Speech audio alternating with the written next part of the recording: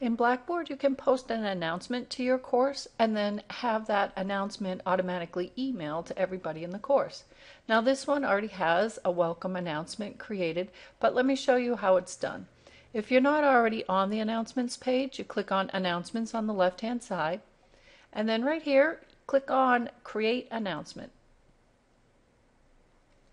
And now you type in the subject of your announcement.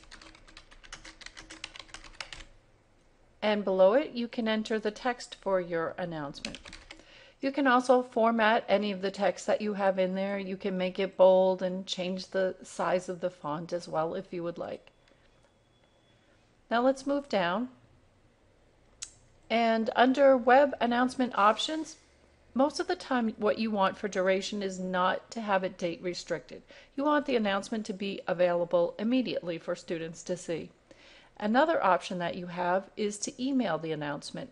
So if I click on this, then what will happen is as soon as the announcement is posted, it will also be emailed to every student in the class. And now I can scroll down and just click submit.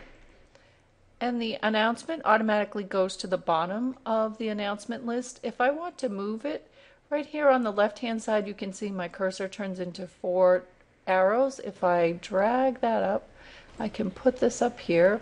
And now if we move up, we can see that the announcement I just created is first on the list. And that's how you can create an announcement in Blackboard. If you have any questions, just give us a call at the Office of Academic Technology or drop us an email.